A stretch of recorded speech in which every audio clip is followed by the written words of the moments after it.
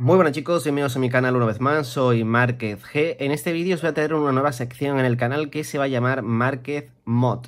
Ya sabéis que mi actual teléfono ahora mismo en el canal es el Xiaomi Mi 9T y bueno, pues esta sección va a venir bien para, según el dispositivo que tenga, pues traeré mejoras eh, ya lo hice en el Redmi Note 5, no lo abrí como sección, sino que directamente subí al módulo, pero bueno, eh, me parecía interesante pues eh, diferenciar un poco en las portadas y los títulos a qué va referido este, esta sección, ¿no?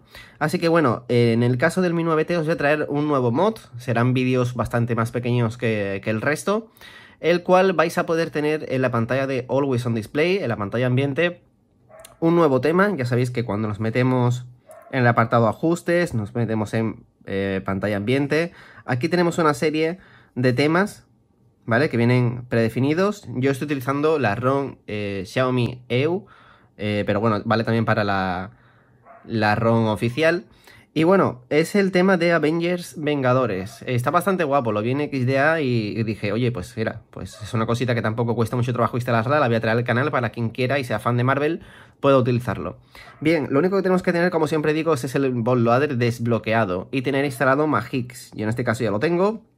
Aquí vais a encontrar también eh, un mod que también subiré eh, a posteriori, que es para tener el sonido de la espada láser de, Star Wars a la hora de abrir la cámara delantera. Pero bueno, ahora vamos a instalar el tema de Avengers de eh, Always on Display. Lo único que tenemos que hacer es eso, ir a Magix, como hemos hecho antes.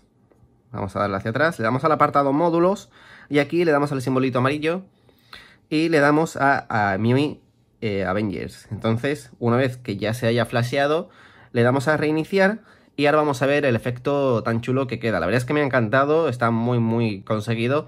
Eh, hay pocos personajes, eh, yo cuando lo vi eh, al principio, yo me considero muy fan de Spider-Man, pero no estaba. Creo que está Thanos, está el Capi, está Iron Man, creo que está Black Panther y no recuerdo si era la viuda negra, ¿vale? Pero bueno, imagino que poco a poco eh, se le podrá decir, oye, pues eh, te importaría hacer uno de, de Spider-Man y demás, y sin problemas. Bien, si bajamos la barrita de notificación, le damos ahora a configuración, nos metemos en el apartado pantalla ambiente y ahora vais a, o sea, vais a, fijaros de que tenemos ya disponible bastantes aquí personajes nuevos. En este caso, pues como decía, eh, tenemos esta que está aquí, que es la Viuda Negra, tenemos Black Panther, tenemos al Capi, tenemos a Doctor Strange, tenemos a Thanos y tenemos a Iron Man o Tony Stark. La verdad es que queda bastante guay, ¿vale? Si le damos, pues estáis viendo que es un reloj bastante pequeño, o sea, es bastante, no ocupa toda la pantalla, pero está bastante guay. Lo único que, bueno, pues luego podemos cambiarle lo que es, son las letras de abajo, lo cual es adaptable, pues, ya os digo, a cualquier color. Si le damos a aplicar, vamos a poner, por ejemplo, Thanos, si bloqueamos la pantalla, vais a ver que ahora sale Thanos. La verdad es que está bastante chulo, ¿vale? Ya luego es compatible con el doble toque a la hora de desbloquear o si te llega una notificación. Eh, me mola bastante. Así que bueno, este es el primer pequeño mod que os traigo, un pequeño vídeo por si queréis instalarlo.